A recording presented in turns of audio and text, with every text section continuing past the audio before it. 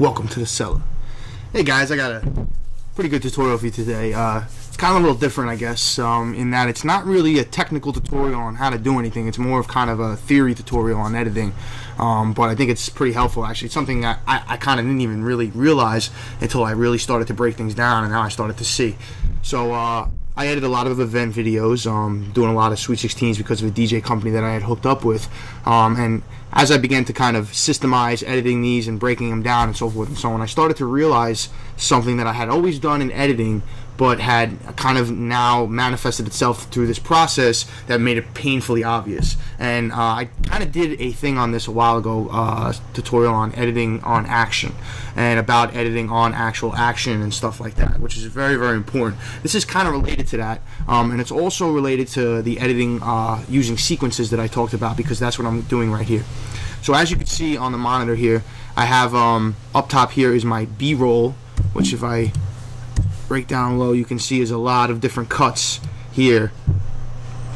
And then over here we have uh, our main my main sequence. So what I normally do here if I can just zoom in what I normally do here is I will go through this. This is just the camera and I will find a, a good spot and then I will cut and I will edit this until I get a clip that I really like uh, and then I'll put it in. So let's I this guy here bang I want him dancing so I might get a clip there and I like that. But I wanted to talk about exactly how I choose those in and outs. Um, and one of the things that I've uh, really helped me to edit, especially when editing to music. So part of the thing that I do with these videos is I edit them to music. So I want to primarily match them up on the beat. Now, if you edit, you should know how to edit to music, and what that means is that you're going to have a cut that's going to um, go with uh, something that's going on in the audio. Usually, it's either a drum or a beat or um, some sort of uh, you know percussion or something that, that goes on that's kind of uh, high on the meter, so that when you hear it, you kind of recognize some sort of change going on, and it kind of works together.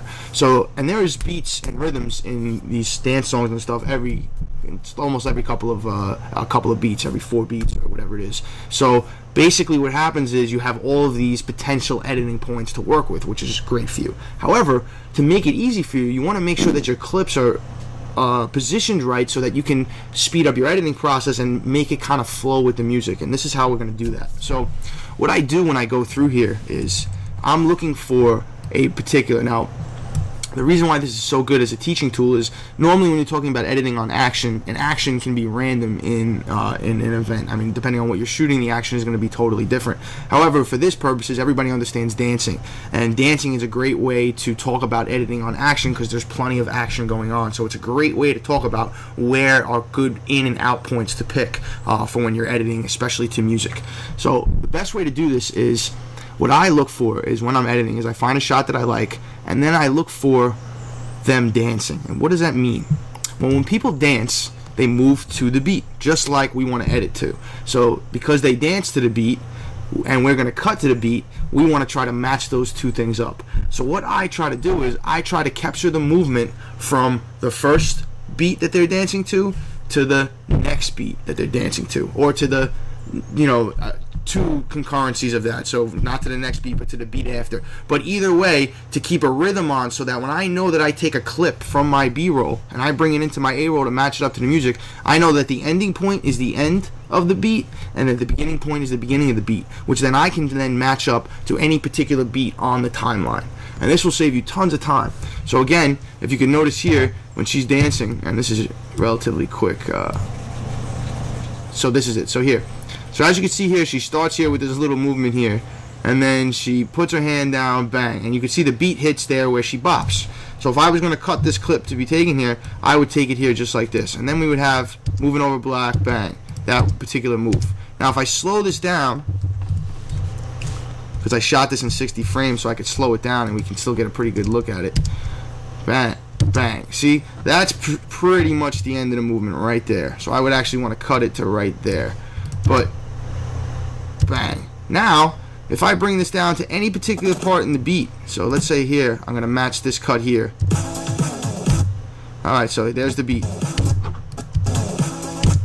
So you can see I have a cut here. You can hear that beat right there. Okay. What I'm going to do here is I'm going to put this down here and I'm going to line it up here. Now you'll notice that the ending beat or the beginning beat is going to be on a beat, but not both of them because it's obviously that they're not dancing to the same song. So that's why I do this is so now I have this choice. So I may say here, this really isn't that interesting, this part here, so I'm just going to line this up to the beat here. And now I'll have this particular clip ready to go. Can see, right when it hits the beat, bang. And actually, if I was doing this clip because it's slow motion, I would probably put it back to regular speed. It's kind of boring in slow motion, not a lot of movement. And you can see there, and, and watch.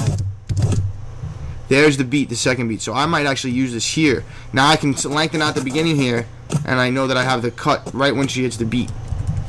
So again, boom. Just about, I think it's one off. You know what? I think it's about one off. Yeah. We'll go there.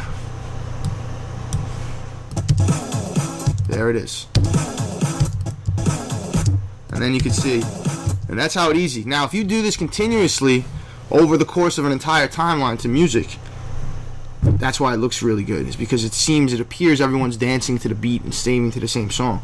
Now, obviously, if you're not cutting dancing, you're saying, well, how does this relate to if I'm just cutting regular action? But it's kind of the same scenario here.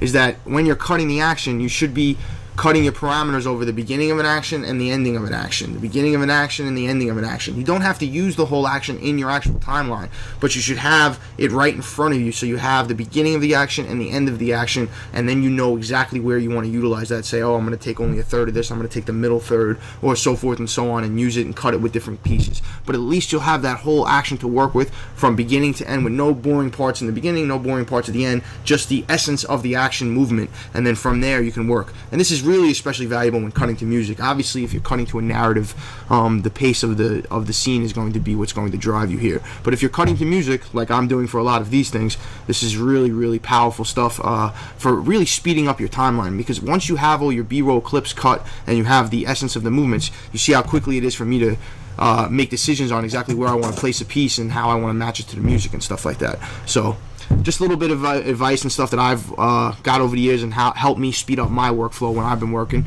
Hope you guys appreciate this, man. I'll talk to you soon.